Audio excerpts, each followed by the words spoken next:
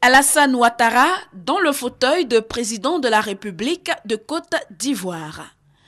Kone Mariam n'en croit pas ses yeux, tant l'image s'apparente à un rêve pour elle. Alassane, président de la République de Côte d'Ivoire, elle n'est pas seule à être dominée par l'émotion ce 21 mai 2011. C'est que l'accouchement a été très difficile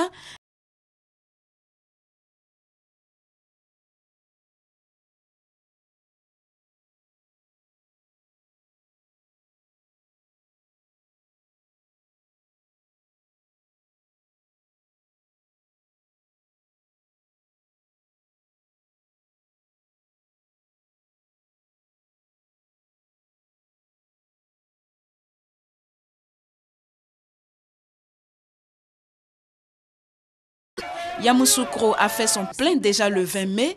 Les 86 réceptifs hôteliers ont refusé du monde.